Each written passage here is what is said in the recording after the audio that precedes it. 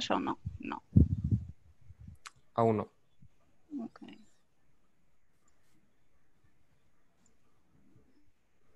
Discúlpenme, Zoom es una de las herramientas que no uso demasiado. No se preocupe. Pasa muy a menudo. Sí, es... Ok.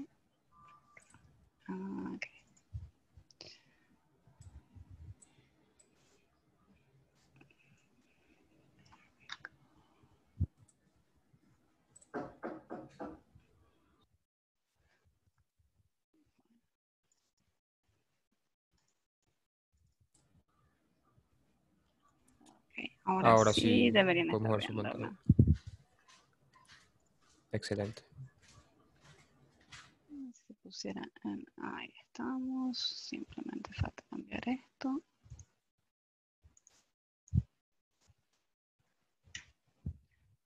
Y todo lo que tenía armado antes, por supuesto que ya no funciona. Así que denme un segundito más. Bien. Ahí estamos. Bueno, después de, de estas pequeñas dificultades técnicas, aquí estamos. Buenos días a todos. Ah, un placer realmente participar en estas jornadas y, y poder transmitir un poco de, de esta experiencia que, que he tenido en Sudamérica en particular y, y en, otras, en otras partes del mundo eh, en general, digamos. El objetivo de esta charla es revisar los distintos pasos que son necesarios para construir una imagen del subsuelo usando sísmica. Y voy a empezar desde el, principio, algo que, nunca he visto en, mi parte universitaria, es cómo se piensa un proyecto y cómo se empieza desde ahí, cuáles son los estudios previos que se hacen, después cómo se plantea la adquisición, y, y el procesamiento básico, pero lo que me quiero realmente hacer más enfoque es a todo el, el- la creación de un modelo del subsuelo, donde vamos a darle mayor importancia a la velocidad, pero también tenemos que tener en cuenta la anisotropía y las distintas herramientas que utilizamos hoy día en, en un proyecto comercial para, para generar esto. Y después es, bueno, ¿qué, algoritmos de migración utilizamos? ¿sí? Esto es lo que nos va a dar, va a cerrar el loop de, cómo hacemos la imagen del subsuelo que estamos buscando. Entonces, en, los primeros pasos de un proyecto sísmico tenemos que ver qué dato tenemos. Y esto va a ser diferente si estamos en una zona de exploración, si por ejemplo ustedes están trabajando para una, una operadora y recién adquieren un área y no hay demasiada información en ella, entonces tenemos que ir a buscar cuáles son las publicaciones que hay de la región, si tenemos algún modelo geológico de ellos, si tenemos algún tipo de adquisición um, geofísica que no sea sísmica, puede ser magnética, puede ser gravimétrica, todo ese tipo de cosas son las que tenemos que encontrar para armar la historia. Después seguramente hay sísmica, hay muy pocas regiones donde no tenemos nada, nada de sísmica. Es probable que sean líneas 2D muy viejas, que no estén en la mejor condición, pero bueno, pero tenemos que ir buscarlas y, y ver qué tanto nos pueden ayudar en eso. Y también seguramente hay alguna información de pozo, hay algún pozo exploratorio, hay algún uh, log que se ha corrido en él, en esta zona, y lo que tenemos que hacer es, bueno, ver qué información tenemos, recopilar todo esto, y armar nuestro proyecto. Es, bueno, cuál es el, el objetivo que tenemos aquí, eh, cómo podemos obtenerlo. Esto es en el caso de estar en exploración, en un, en un ambiente totalmente nuevo. Puede pasar que estamos en un proyecto enfocados hace tiempo y, y, tenemos una imagen, pero no es la resolución que, que, necesitamos. Entonces, lo que tenemos que hacer es otra cosa, es tenemos una sísmica ya, tenemos un modelo bien claro, tenemos información de más de un pozo en general, y es donde tenemos que ajustar un poquito más las cosas. Esto puede ser para definir mejor un área o puede ser para, para ver cómo la producción en un área se mantiene, lo que sería una, una sísmica de, de, de 4D, 4D, ¿sí? Entonces, en el caso de tener un conocimiento del área, podemos tener un, un, modelo de la Tierra, ya un modelo de velocidades, un modelo de densidades, y con eso lo que vamos a hacer es hacer un modelado. Sí, en esto es, imaginemos que tenemos nuestro objetivo en estos puntos que están acá, y tenemos algo complejo por encima de esto, como puede ser la sal, entonces con una sísmica medianamente antigua que teníamos, con solamente tow streamer, o sea, unos cables tirados por un barco que disparan con la misma, el mismo barco es el que dispara. No tenemos una buena imagen de esto, entonces queremos analizar si hay algún otro tipo de geometría que nos pueda dar una mejor imagen. Entonces generamos este modelo de la Tierra con velocidades, densidades, anisotropía, y lo que hacemos es, es em, modelar distintos tipos de geometría que podemos utilizar. Podemos utilizar una geometría con todos los azimuts, con, con, solo algunos. Queremos ver si la dirección en la adquirimos puede mejorar la imagen que tengamos o no. Puede ser que el offset que tengamos que ir tiene que ser mucho mayor que que tengamos hoy día. Y todo esto lo hacemos en, en esta etapa previa, ¿sí? Lo que hacemos es, es un, como una, una regla básica es sabemos que todo tenemos desde una todo va a ser de lo más simple a lo más complejo en la adquisición y esto va a estar dado por la complejidad geológica que tengamos, ¿sí? Si tenemos una zona muy tranquila, donde, no sé, no, no tenemos ninguna, ninguna estructura geológica que tenga un buzamiento muy alto o que tenga distintas direcciones de buzamiento, donde no tenemos sal, con una adquisición narrow azimuth, y estoy hablando de adquisición marina en este caso porque la adquisición terrestre es mucho más, mucho más fácil de manejar, ¿sí? Es, nos da mucha más flexibilidad que la marina. En el, caso de marino es tenemos cables tirados por un barco, principalmente lo que podemos manejar es si hacemos una sola pasada como estas o si hacemos distintas pasadas como en este caso donde tenemos un multi-azimut. Podemos variar el offset máximo que estamos teniendo y tal vez podemos variar qué tanta separación tenemos entre los cables, depende cuál es nuestro objetivo. Si la complejidad de la zona es grande, tenemos que ir a otro tipo de adquisición, como puede ser un, wide azimuth. En este caso necesitamos cuatro barcos en la zona para que dos tiren los streamers y otros dos sean fuentes, más las fuentes que los streamers tienen. O sea, esto va a aumentar el costo de, la adquisición también. Si realmente estamos en una zona muy compleja o estamos en la parte de, desarrollo de un campo, podemos ir a una adquisición full azimuth. Sí, estos son los, los uh, diagrams que tenemos en esto. Y la adquisición full azimuth la tenemos si, si usamos también cuatro barcos en este caso, eh, donde tenemos em, una adquisición circular, conocida como coil, o si ponemos receptores en el fondo marino y después disparamos con fuentes en, la superficie. Esto también nos da la misma flexibilidad que tenemos en el caso de, una sísmica de adquisición terrestre. Podemos poner los nodos o los cables en el fondo de mar como querramos y disparar con, con el offset máximo que querramos también y con todos los distintos azimutes pero bueno, pero esto tiene un, costo bastante elevado, entonces en general no vamos a hacer un, área demasiado grande con esto, vamos a reducirlo a un área que tenga sentido. Y en, todo, en todos estos casos, lo que siempre hacemos es, evaluar el costo y la necesidad de una cosa y de la otra y vamos a buscar la solución que mejor ajuste los dos.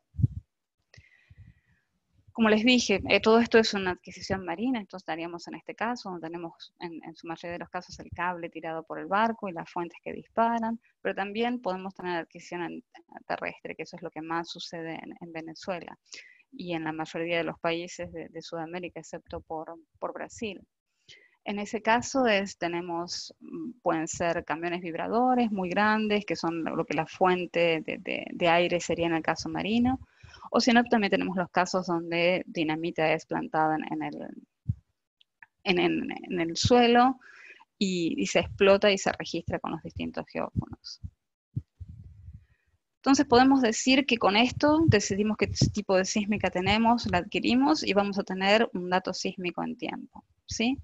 Estos son los tres, las tres partes fundamentales que necesitamos para generar una imagen en el subsuelo. Necesitamos tener el dato sísmico adquirido, necesitamos generar un modelo del subsuelo. De nuevo, la velocidad es lo más importante en ello, es la, primera cosa, es esto es en tiempo, nosotros tenemos que pasar a profundidad. La, la forma directa de hacerlo es tener una velocidad para ello. Pero también tenemos que tener en cuenta si esa velocidad varía en distintas ah, direcciones y eso va a estar dado por la, por la anisotropía. Para distintas cosas podemos necesitar la densidad, por ejemplo, y también eso puede estar incorporado en nuestro modelo. Entonces, una vez que tenemos estos dos pasos, lo que hacemos es migrar, ¿sí? Con un algoritmo dado, y vamos a hablar de algunos de ellos, y con eso construimos la imagen en, en profundidad. O puede ser en tiempo, pero realmente me gustaría más enfocarnos en profundidad. Pero volvamos a la parte inicial, que es el dato sísmico. ¿sí? Imagino que ustedes saben cuál es una secuencia de proceso básica, y no voy a hablar de una secuencia de proceso básica, sino voy a hablar de, cuáles son los puntos más relevantes en la adquisición terrestre y en la marina. Si en algún otro momento quieren hablar de una secuencia en general, lo podemos hacer, no, no tengo ningún inconveniente. Si vamos a una adquisición terrestre, nuestra mayor dificultad va a ser todas las ondas superficiales. Vamos a tener un ground roll que va a ser este dato de baja frecuencia y amplitud muy grande que va a contaminar todos nuestros shots y lo cual tenemos que remover para poder realmente ver las reflexiones que hay por debajo de esto. Una de las formas fáciles es tomar un, hacer un, proceso en el, en el, dominio FK y sustituirlo a estos desde un filtro simple hasta cosas más elaboradas que, existen en, la, caja de herramientas. Pero también lo que podemos hacer es, es modelarlo desde, digamos, obteniendo todas las distintas ah, curvas que tenemos allí de, de, absorción y demás, y lo que hacemos es generar dos cosas. Generamos un modelo del ruido y también podemos generar un modelo de las velocidades de esta parte más somera. Y esto es importante porque las velocidades cambian muchísimo de, forma lateral y esto nos va a afectar a la imagen en, la forma más profunda. Habitualmente, o, hace unos años, lo que se hacía era corregir todo esto por medio de estáticas. Hoy lo que se hace es tratar de incorporar la mayor parte de, esta información dentro del, modelo de velocidades y lo que sí pueda ser residual se pone dentro de, una corrección estática, o sea, una variación constante de cada una de las trazas. Esta es una de las formas que, hoy día se puede hacer y es una de las más recientes y avanzadas pero también están las, las más tradicionales, que es picar los primeros arribos y descomponer esto en, utilizando una, tomografía de refracción. Una forma o la otra es lo mismo, pero son cosas que hay que hacer. Hay cosas, debemos entender esta complejidad que tiene la parte superior del modelo y debemos eh, corregir el dato de alguna forma. Yo sinceramente me inclino por, por incorporar la mayor cantidad o a la parte más grande de, esta corrección dentro del modelo de velocidades y solo una parte residual aplicarlo como estáticas. Y la otra es, bueno, es sí remover el ruido del dato. Si vamos al, dato marino, las, los principales challenges que tenemos son otros. El ruido que tenemos está más dado por el, eh, por, las, por el oleaje que podamos tener, eh, por ejemplo, si tenemos barnacles en, Brasil, es, estos ah, moluscos que crecen alrededor de los cables y generan mucho ruido, por lo cual hay que limpiarlos, pero también hay que removerlos en la sísmica. Y bueno, esto tenemos que hacer también una atenuación de ruido, donde va a tener otras herramientas, pero es algo importante hacer, ya que tenemos las diferencias de lo que puede ser un dato antes y después de la aplicación de ruido. Y otra de las cosas que es realmente una, un desafío aquí es todas las reverberaciones que tenemos en, la capa de, agua, ¿sí? En, esta interfase entre el aire y el agua. Lo primero que vamos a tener es la, acá es donde se me complica el inglés y el, español, disculpen, lo que sería el fantasma de la fuente, ¿sí? el source ghost. Lo que nosotros tenemos en general o lo que queremos tener al final de, toda la atenuación de estas múltiples, o sea, todas estas reverberaciones que tenemos en el fondo marino, es suponer que tenemos la fuente en la superficie, disparamos, la, información, la energía que enviamos se refleja en, ah, en una capa sedimentaria y vuelve hacia la superficie, hacia donde tenemos nuestro receptor. Eso es lo ideal, pero no es eso lo que pasa. Parte de la energía que sale de la fuente, y la fuente está sumergida a cierta profundidad. Si estamos hablando de 7 metros, de 8 metros, todo depende de las condiciones, el tipo de fuentes. Entonces, vamos a tener gran parte de la energía sí que viaja hacia abajo, hacia el fondo marino, pero parte va a reflejarse en la superficie del mar. Y esa, esa, esa reflexión va a volver, vamos a tener como un espejo en la superficie del mar y esa energía va a volver hacia abajo y va muchas veces a, contribuir de una forma destructiva con la energía que ya fue directamente de la fuente al subsuelo.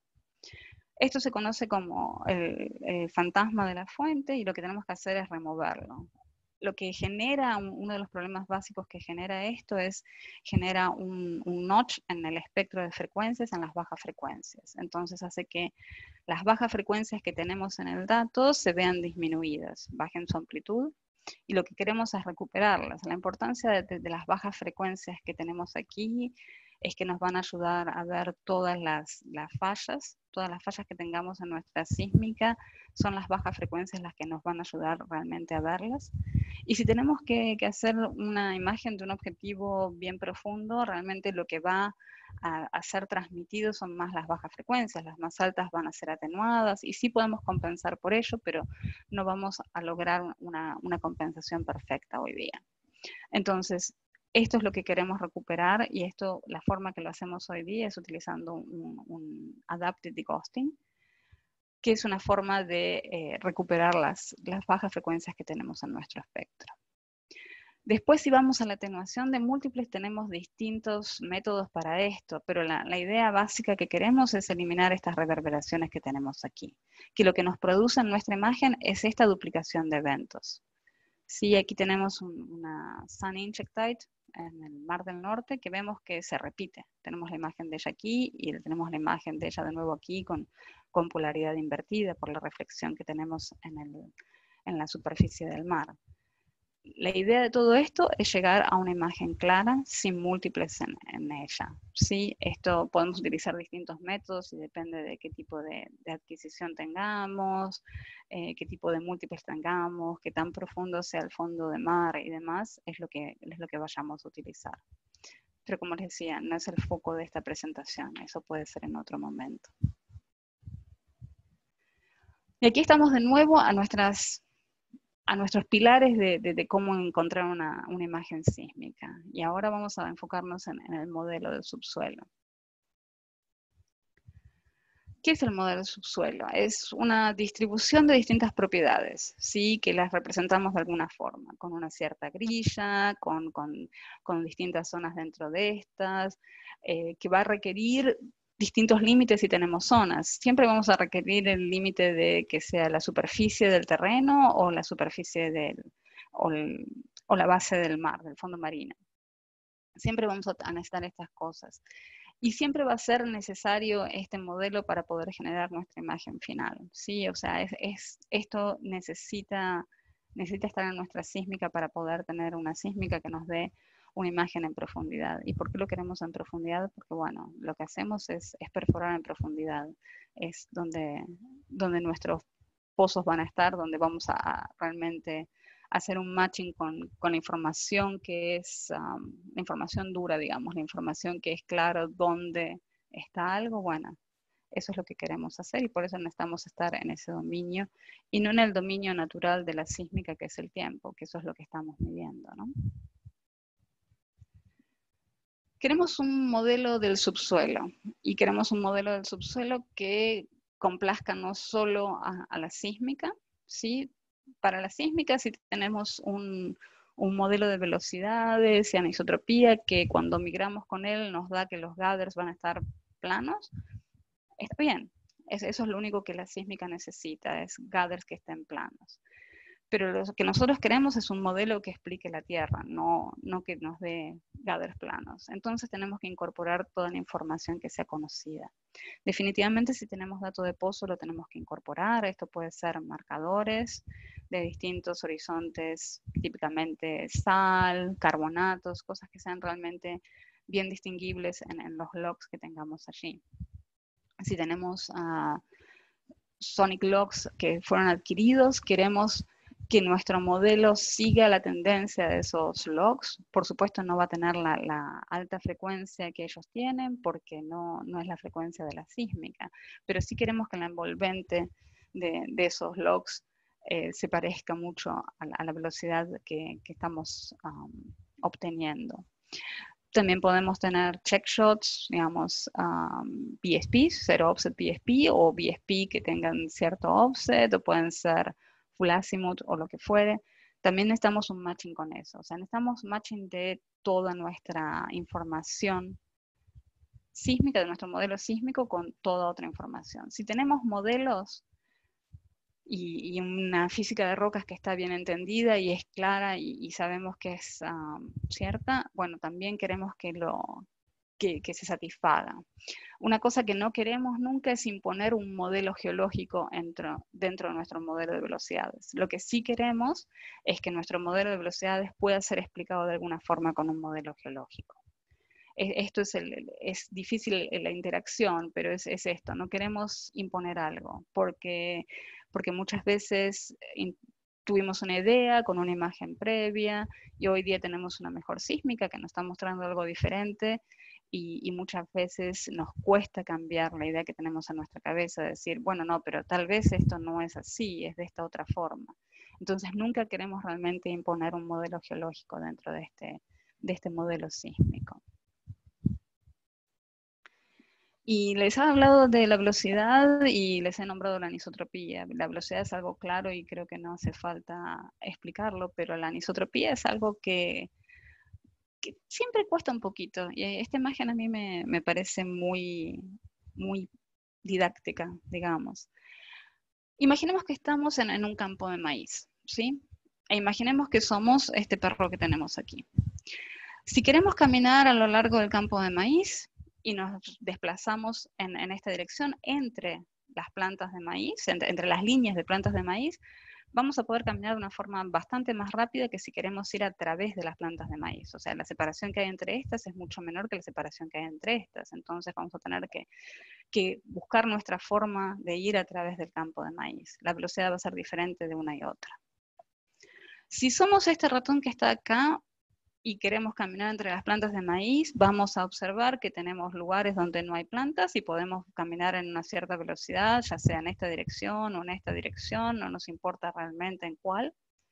Entonces lo que vamos a ver es un, medio heterogéneo. Vamos a ver un medio donde no hay plantas y un medio donde hay plantas. Si donde hay plantas no podemos caminar, donde no hay plantas sí podemos. Simplemente eso. Pero si somos un elefante, realmente no nos importa si caminamos en esta dirección o en esta otra. Las plantas de maíz no van a hacer una, no van a hacer una diferencia en, nuestro desplazamiento. Tenemos un volumen y una masa suficiente como para que no nos afecte en qué dirección estemos caminando. En ese caso, vvamos a ver a esta, a esta plantillo de, de maíz, esta plantación de maíz, un medio isotrópico. Entonces, de nuevo, para el perro, esto es un medio eh, anisotrópico y en verdad va a ser un HDI, Horizontal Transverse Isotropy. Es una forma bastante complicada de, definir lo que se tiene en la convención. Es decir, que lo que estamos viendo es la dirección perpendicular a las capas, ¿sí? Bueno, esto es lo que vemos si somos el perro, pero si somos el elefante no nos importa en qué dirección nos movemos, entonces el medio es isotrópico.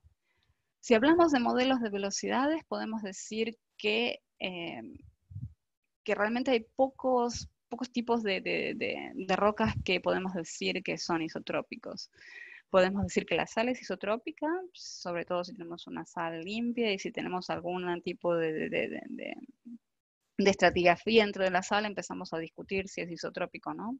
Pero digamos que en una sal limpia, en una alita, tenemos un medio isotrópico en un carbonato que no esté fracturado. También tenemos un medio isotrópico, aunque haya gente que, también lo, discuta. ¿Sí? Pero bueno, en general lo que tenemos en, la naturaleza es un medio anisotrópico y que en general está tilted, ¿sí? Tiene, una tiene un cierto gusamiento de nuevo, no afecta solamente a la velocidad, afecta a otro tipo de, propiedades como la permeabilidad, propiedades electromagnéticas, atenuación y demás, pero nuestro foco es, en, la velocidad. Y una de las cosas que es realmente la causa de esta anisotropía que tenemos en, la sísmica o que vemos desde la sísmica, está dada por la, por la sedimentación, por la estratigrafía que tenemos, ¿sí? por tener un, estrato de areniscas y después uno de lutitas y otro de areniscas. Entonces, esta, esta variación de, sedimentos nos va, nos va a dar este efecto que tiene la anisotropía.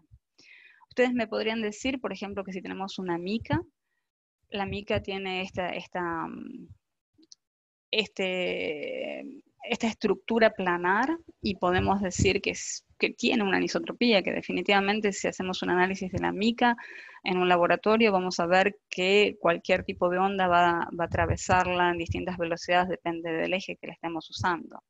Entonces ustedes me pueden decir que si ponemos una capa de un metro de mica, vamos a poder medir una velocidad sísmica diferente en una dirección o en la otra.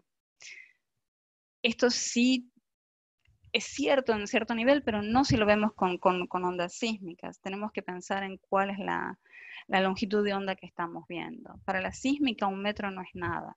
¿sí? Entonces no vamos a poder observar las variaciones que tenemos dentro de la mica. Para esto tenemos que ir a, depósitos más grandes, a depósitos de decenas de metros en orden de poder ver estas variaciones de, anisotropía. Eso es, algo que, que, siempre me, pareció interesante. Es, tenemos que ver cuál es el, la lupa o, la lupa con la que estamos viendo el dato. ¿sí? Si, si, estamos viendo una longitud muy pequeña, de onda muy pequeña, sí vamos a ver anisotropía en una mica, si lo vemos en sísmica, olvidémonos. Entonces, para, para, para repasar lo que habíamos visto, nuestros medios pueden ser isotrópicos, que como decíamos, en la realidad, en, el mundo de la sísmica, solo tenemos la alita o la sal y, los carbonatos, si no están fracturados. Lo que tenemos en la mayoría de los casos es un, un TTI, un medio TTI, tilted, tilted Transverse Isotropic, y lo que podemos llegar a tener es un medio que esté estratificado como este, pero que además tengamos fallas, ¿sí? Como en este caso. Entonces vamos a tener que poner otro eje de simetría. Vamos a tener una velocidad que está dada por la estratificación y vamos a tener otra velocidad que está dada por las, por las fallas que tenemos aquí. Ahí es cuando las cosas se complican. En, este caso general que tenemos aquí, ¿sí? Lo que tenemos que generar es nuestro modelo de velocidades en general tiene eh, cinco parámetros. La velocidad, que es el más importante, la anisotropía, que la expresamos en, funciones de delta y epsilon, y después los ángulos de simetría, ¿sí? ¿Cuál es el buzamiento de, estos, de, de, estos layers? Y cuál es el azimut de buzamiento también. Pero cuando venimos a esto, bueno, eh, tenemos que generar un modelo de velocidades con nueve parámetros. O sea, la cosa se complica bastante. Y, por más que en muchas zonas lo vamos a tener, no por ahí no toda en la columna, pero al, menos en, cierta parte de ella, realmente tenemos que estar seguros eh, y tenemos que, tener la información suficiente como para poder crear un modelo de estos. Una de las zonas conocidas a nivel mundial, que tiene una, anisotropía con, variable con el azimut, es en, Trinidad, en Columbus Basin, ahí cerquita de ustedes. Y lo que tenemos es todo este sistema de fallas en la zona, que esto es lo que nos genera la, anisotropía. Para ver esa anisotropía necesitamos un, un, buen dato, esa es la mejor forma de verlo. En este caso tenemos un dato VC, o sea, tenemos cables en el fondo marino y tenemos todos los azimuts. Y si organizamos el dato de esta forma espiral que estamos viendo acá, lo que vemos es, este, estas oscilaciones que tenemos en los, en los, um, en los gathers. Recuerden que lo que queríamos es que esos gathers estén planos para que podamos eh, tener una velocidad que sea correcta.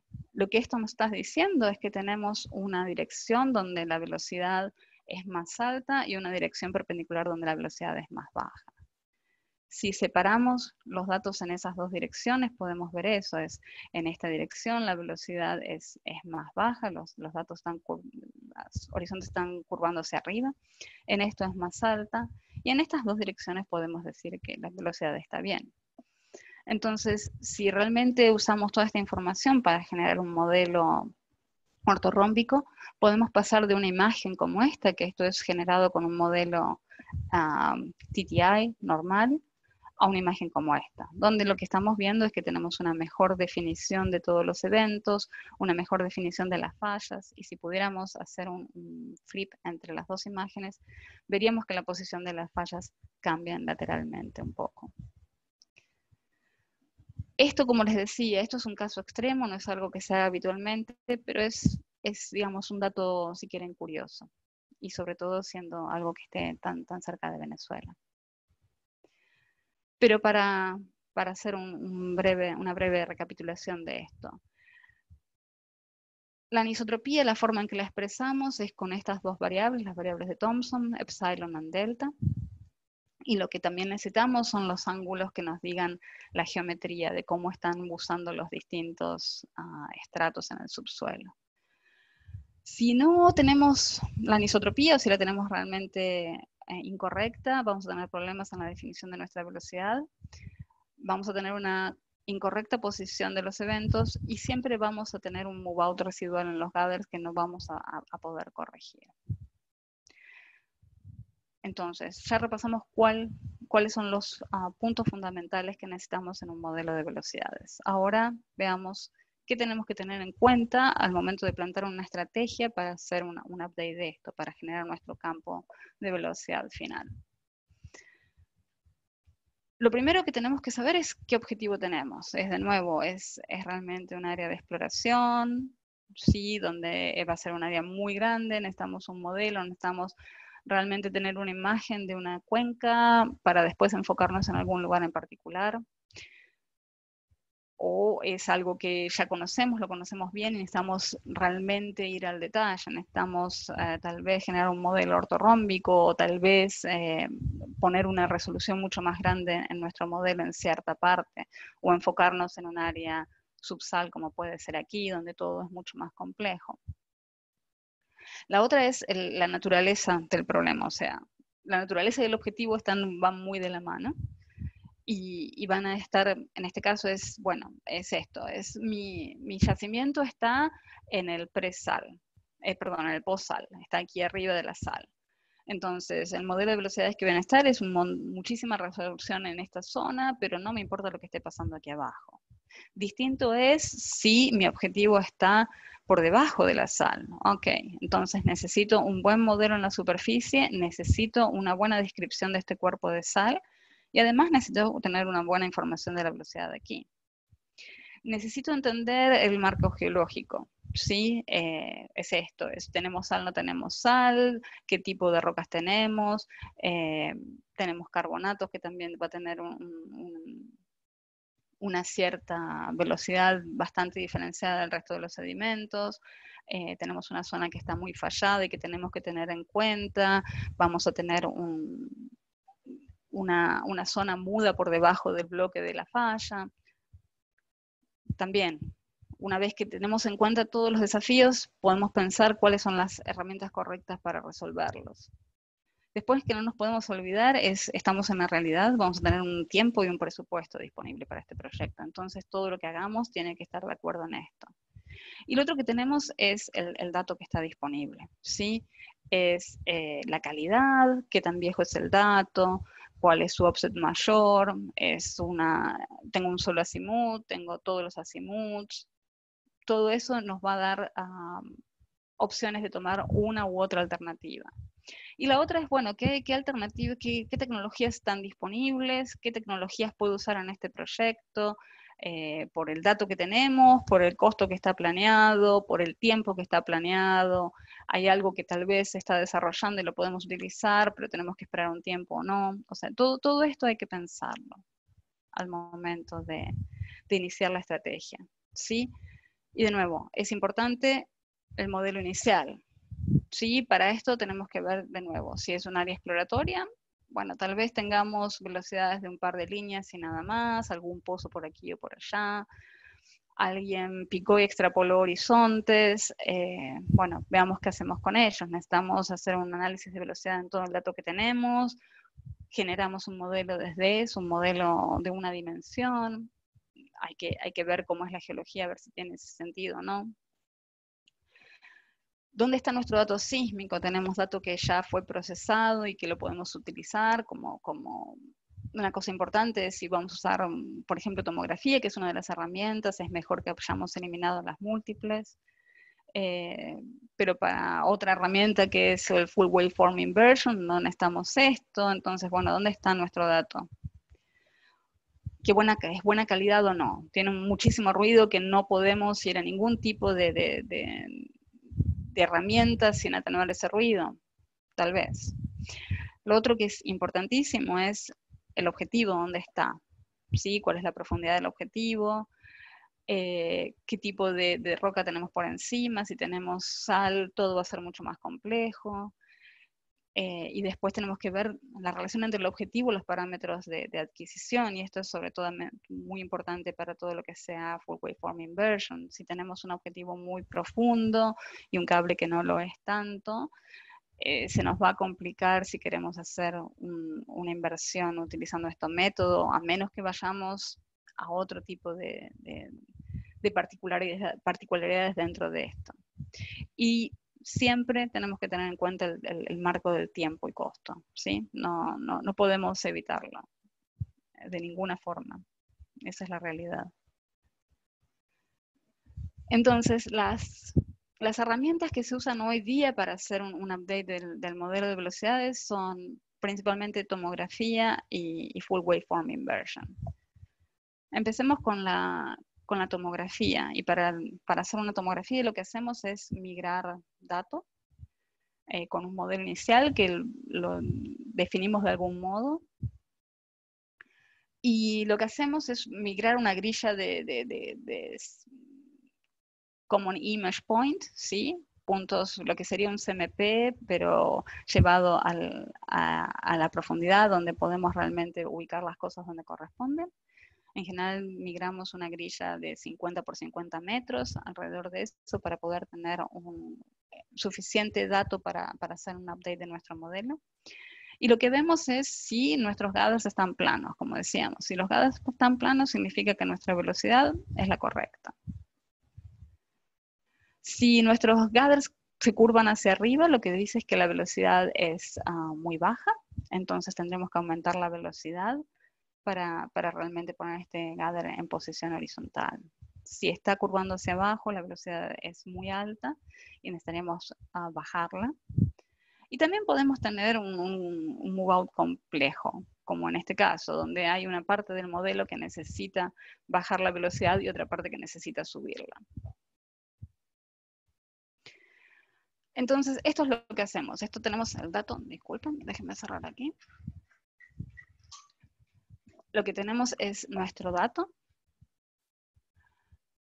Estos son los, los ah, CIP gather que le decía y que lo migramos y que vamos a hacer el picado de, velocidad residual.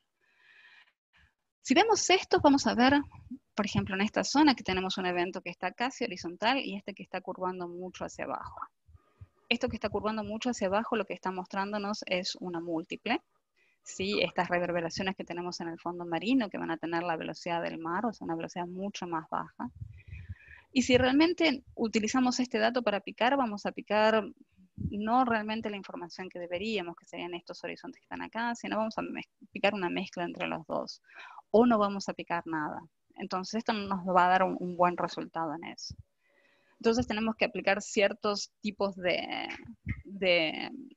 de procesos como atenuación de múltiples antes de, ir a un picado de velocidades residuales. O un, picado, perdón, de, de, move out residual.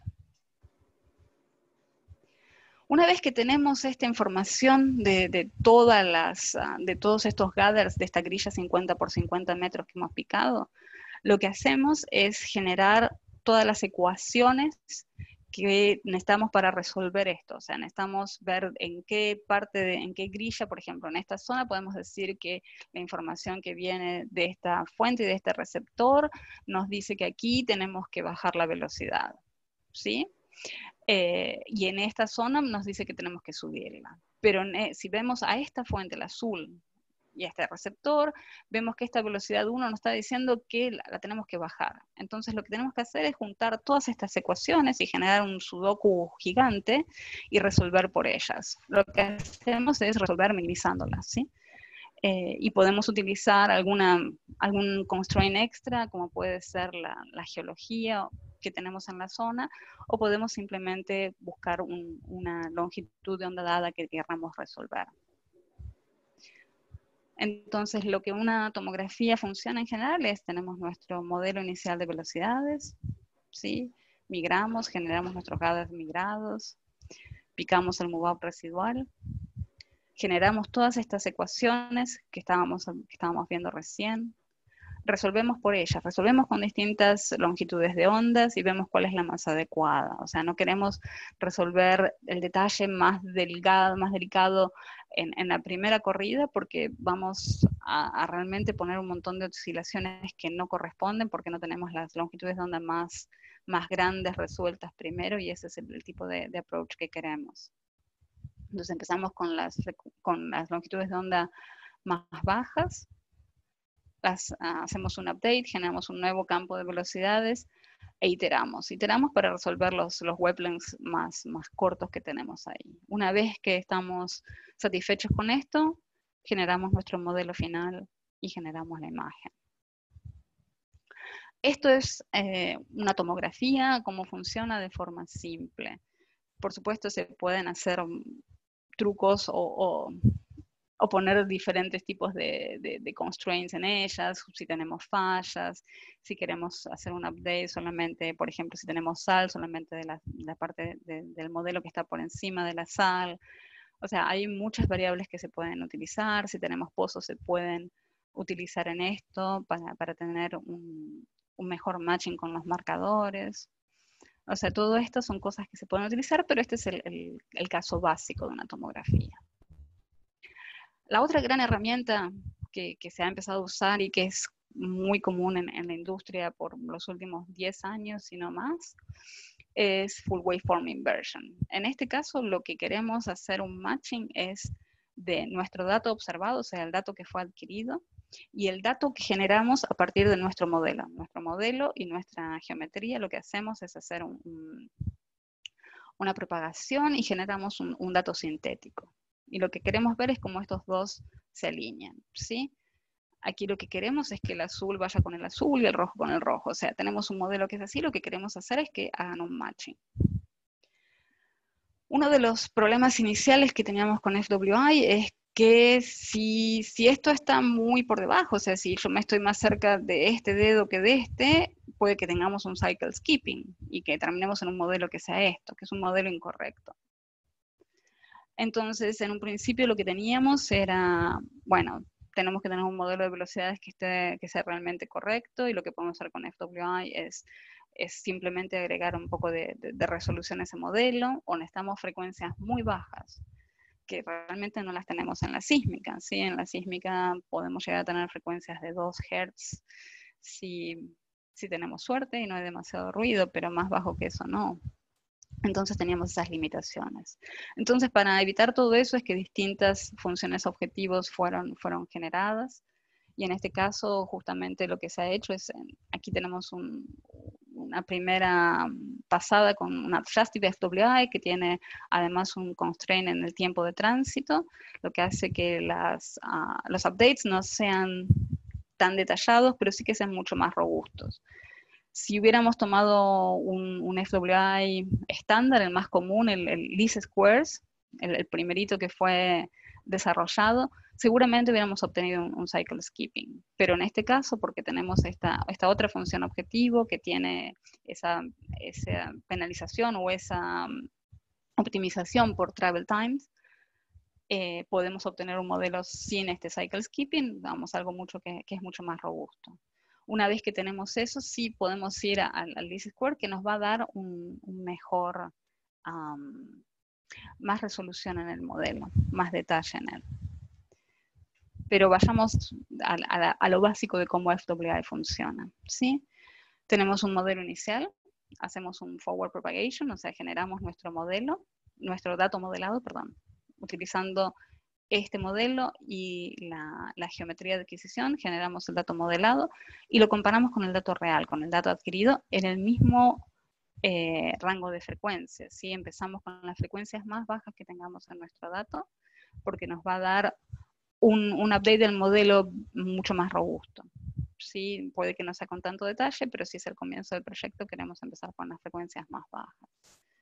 Hacemos estas diferencias y lo que hacemos es un, un backward propagation, ¿sí? Para generar un gradiente. O sea, esto nos va a decir cómo tiene que cambiar la velocidad en general para que este dato modelado se parezca mucho más al dato real. El gradiente nos da, digamos, la dirección en la que se tiene que hacer el update las velocidades y después el line search lo que nos da es la magnitud de, esas, de ese update. Cuando tenemos esto, lo que hacemos es un, hacemos un update del modelo y generamos un nuevo modelo de velocidades. En general lo que se hace es, empezamos con este rango de frecuencias bajas e iteramos varias veces dentro del mismo rango de frecuencias. Yo diría que en general no menos de 10 iteraciones en el mismo rango de frecuencias. Una vez que estamos satisfechos con este modelo en este rango de frecuencias, pero queremos más detalle en nuestro modelo de velocidades lo que hacemos es irnos a una frecuencia más alta e iterar de nuevo unas 10, 15 veces y después movernos a frecuencias más altas. Todo esto va a estar limitado por cuál es el objetivo del proyecto y además por, los costos. O sea, cada vez que vayamos a una frecuencia más alta vamos a tener un costo mayor en, la corrida de esto. Y ahí llega un punto donde realmente no tiene sentido porque podemos sí ponerle más información a, nuestro modelo de velocidades, podemos ponerle más detalle, pero la imagen que vamos a generar va a ser la misma. Y si vamos a utilizar este modelo de, velocidades solo para generar una imagen, no tiene sentido eh, hacer esa inversión de, tiempo y, de, tiempo de, computador. Aquí, como les decía, hablamos un poquito de, las distintas funciones objetivos. La, principal, ah, la principal o la primera, que, históricamente es el least squares, donde es mucho más sensible al cycle skipping, como decíamos, pero sí nos va a dejar más detalles en la actualización del modelo. El adjustive es, tiene en cuenta los tiempos de tránsito y nos va a dar un, un update mucho más suave, no tanto detalle, pero sí va a ser mucho más robusto. Y aquí lo que tenemos es, un ejemplo de las velocidades antes y después de FWA, y esto tenía un, modelo de velocidades construido con, tomografía, de buena calidad, pero con FWA, por ejemplo, se pudo ver que este, este cuerpo de sal tenía una estructura diferente, al ponerle una estructura diferente podemos realmente ver una imagen en el subsal que no se podía ver antes. Y si lo vemos en Gathers, por ejemplo, esta reflexión que tenemos aquí después del update con FWI, no era posible eh, verlo o no estaba presente en el anterior. Esto es siendo a un caso más, más simple, ¿sí? estamos en un caso terrestre, en este caso de unas estructuras um, planas, paralelas, eh, bastante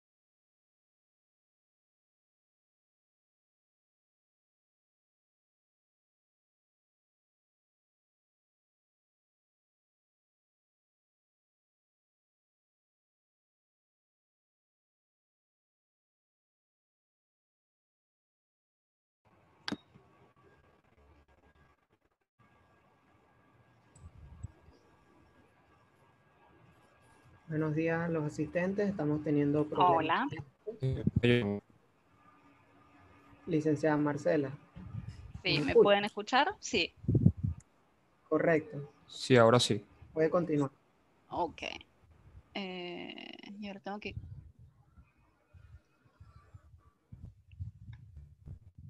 Déjenme compartir pantalla nuevamente. Ok. ¿Pueden ver mi pantalla? Sí. Ya sí podemos ver la pantalla. Fantástico.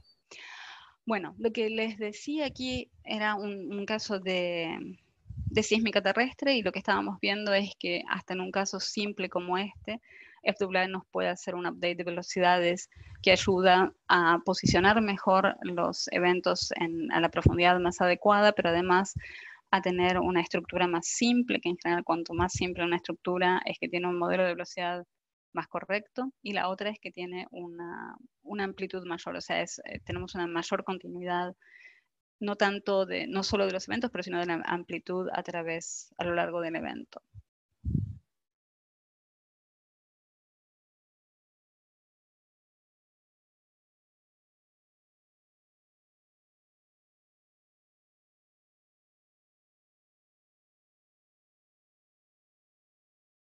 Lo que queremos hacer, lo, que mayor se hace, un, la correlación que mayor se hace en, en, FWI para tener un update es, todas las, refracciones.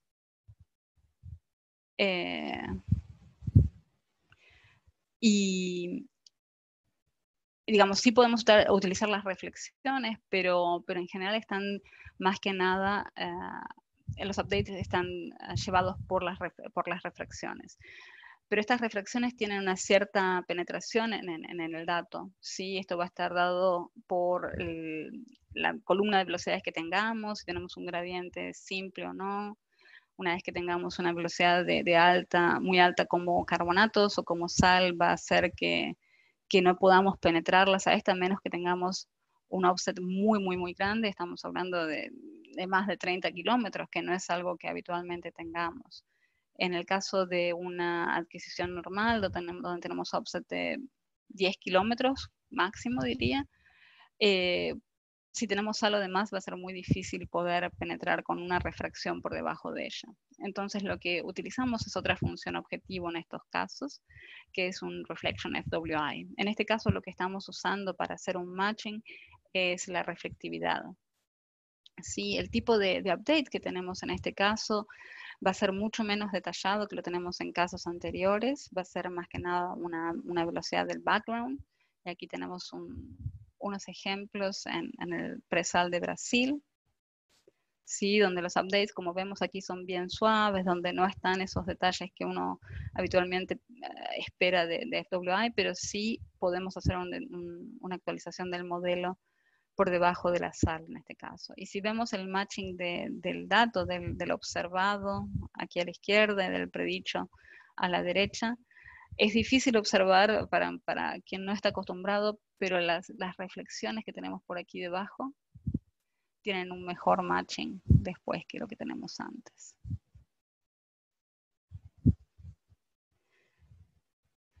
Bueno, digamos que con todas estas herramientas que estuvimos hablando y teniendo una buena estrategia, tenemos nuestro modelo de velocidades y ahora queremos migrar, ¿sí? Para generar nuestra imagen en profundidad. ¿Qué es la migración? fundamentalmente es un, algoritmo que nos va a llevar a los datos a su posición correcta en el subsuelo. Si estamos haciendo una migración en tiempo, va a ser a la, posición correcta en tiempo, si es en profundidad, a su posición correcta en profundidad. Todos lo que quieren hacer es resolver la ecuación de onda, pero vamos a tener distintos tipos de, vamos a asumir distintos tipos de cosas al momento de, de hacer esto. ¿Sí? ¿En qué está basado el éxito de esta migración? ¿En qué tan bueno es nuestro modelo de velocidades? Considerando la anisotropía, por supuesto. Y esto va a ser siempre, ¿sí? El algoritmo de migración que estamos utilizando, podemos tratar de utilizar un algoritmo que no es realmente el mejor para una cierta complejidad, entonces el, resultado que vamos a tener va a ser uno dado, el rango de frecuencia, es, ciertos algoritmos se ponen mucho más caros de correr con cuando vamos a frecuencias más altas, entonces tal vez queremos hacer una imagen de algo que necesita mucha alta, una frecuencia muy alta, pero estamos cortando nuestra migración a una frecuencia más baja, entonces no vamos a poder hacer una buena imagen. El buzamiento de la estructura también va a darnos una, va, a poder darnos una, va a poder afectar el resultado de la migración y la sensibilidad de las velocidades también. Digamos, hay, hay algoritmos que pueden manejar mejor que otros qué tan rápido varía la velocidad y qué tan fuerte es ese cambio. Vamos a hablar de algoritmos que son de, de path, ¿sí? de, de, rayos o que son de, del campo de onda. Los que son del campo de onda está bien, sí, tenemos la energía sísmica que se transmite en el subsuelo mm, mediante ondas y podemos utilizar los frentes de onda o los rayos para para hacer un, entendimiento nada más, pero no son cosas reales, ¿sí? son, abstracciones que eh, hemos creado para, entender cómo funcionan mejor. ¿sí? Y eso es lo que, lo que hacemos. En general, si vamos a, un, a, los, algoritmos de migración más comunes, los vamos a, dividir entre los que son de, de, trazado de rayos y los que son de campo de onda. Los trazados de rayos, de nuevo, es, es una es, una forma de tratar de hacer la migración, es una forma de representar esto. En general son, son más rápidos, es mucho más fácil de entender cómo la energía, de dónde viene la energía, de qué fuente, de qué receptor y cómo están iluminando los distintos puntos en el subsuelo, es mucho más intuitivo, digamos. Eh, se generan los tiempos de tránsito de forma separada, lo cual nos permite migrar un, subconjunto del dato, nos puede permitir ah, migrar líneas de control o un pequeño volumen sin, ningún inconveniente. Y Kirchhoff es el, algoritmo más utilizado. Si vamos a las migraciones de campo de onda, son más lentas, costosas y mejores.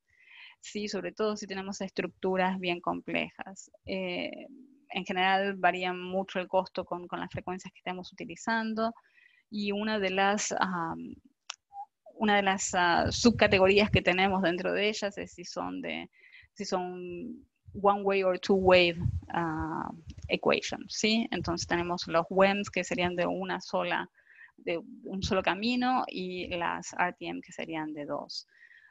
habitualmente lo que se usa en, en, la industria son migraciones RTM les dije que quería hacer hincapié en migraciones en profundidad y no en tiempo, y por eso hablé de, la creación de un modelo de velocidades, pero todavía hay mucha gente en la industria que piensa que las migraciones en tiempo están bien para ciertas geologías. Sí, para eso es, es importante que todos entendamos las limitaciones que una migración en tiempo tiene. Para la velocidad que voy a utilizar, voy a utilizar la velocidad del punto medio, y solamente esa, no puede utilizar una variación de, velocidades, no entiende las variaciones laterales de, velocidades e interpreta que todas las velocidades, que todos los, horizontes son planos. Mientras que una, una migración en profundidad mm, genera los, tiempos de tránsito aparte, por lo tanto le va a dar una velocidad, la velocidad correspondiente a cada una de estas, imaginemos grillas en el subsuelo, no tiene ningún problema en tener la variación lateral de velocidades y, no asume el punto medio, eh, digamos, no asume el, punto medio entre receptor y fuente como el punto que se está haciendo imagen, sino lo que hace es estimarlo a partir de, esta, de este trazado de rayos que tenemos.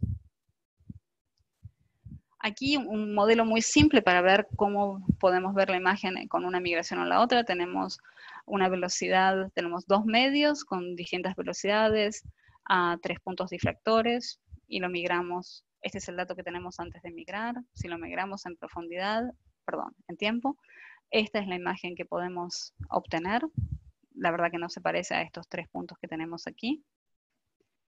Pero si lo migramos en profundidad, sí podemos obtener una mucha mejor, una representación mucho más ah, parecida a la realidad de estos tres puntos que tenemos. Aquí una comparación con dato real, esta es la migración en tiempo, el mismo algoritmo Kirchhoff, y esta es la migración en profundidad. Lo que podemos obtener es una, posición correcta en la vertical, una cosa que tenemos muchas veces en, la migración en tiempo es la creación de falsas estructuras porque, porque realmente no estamos, eh, pudiendo incorporar en nuestro modelo las variaciones laterales de velocidades. ¿sí? Y esto genera las falsas estructuras, tenemos una mejor resolución, eh, vamos a tener una mejor, un, dato que es más, más ah, adecuado para hacer un análisis de ABO también. ¿sí? Pero una cosa a tener en cuenta siempre es que la migración en profundidad es tan buena como el modelo utilizado para ella. Y para finalizar, que me he extendido bastante más de lo que, habíamos hablado, es lo que, lo que hoy es, diría que es la, migración más avanzada que se hace comercialmente. Sí, podemos hablar de, migraciones elásticas y demás, pero eso no es algo que se haga hoy día más allá de, en la parte de investigación. Si vamos a hablar de un proyecto ah, comercial, lo que se está haciendo hoy día son um, least squares migration, que pueden ser tanto Kirchhoff como RTM, estas son las que más comúnmente están implementadas. Lo que estamos queriendo hacer con esto es mejorar la, la resolución, ¿sí? Vamos a tener, lo que queremos es recuperar nuestra serie de reflectividad, ¿sí? Eh, sabemos que, cuando tenemos un experimento sísmico vamos a tener una, cierta iluminación de, nuestro, de nuestro target que va a estar dada por el tipo de adquisición que tengamos y por la complejidad que tiene nuestra, la, geología de la zona. ¿sí? Entonces lo que queremos es tratar de eh, remover estas, estas implicancias, o sea, el, efecto que tienen la geometría y, el overburden, y tener una imagen que es mucho más, ah, que tiene una amplitud mucho más parecida a lo que es la amplitud verdadera. Este es el, método en que se utiliza, ¿sí? Pero la, la, idea que tenemos es que nuestra serie de reflectividad, ¿sí? Va a ser la convolución perdón, nuestro dato real, ¿sí? el dato que, migramos va a ser la convolución de nuestra reflectividad con unos blurring operators, ¿sí? Eh, van a ser unos uh, impulse response que van a tener dentro de ellos estas variaciones de, em, iluminación dado al, modelo de velocidad, o sea, la complejidad que tengamos en la geología y al tipo de adquisición que tengamos. Entonces, esto nos va a dar la variación de, iluminación y de amplitud dado por distintos offsets, azimuths, eh, en distintas profundidades.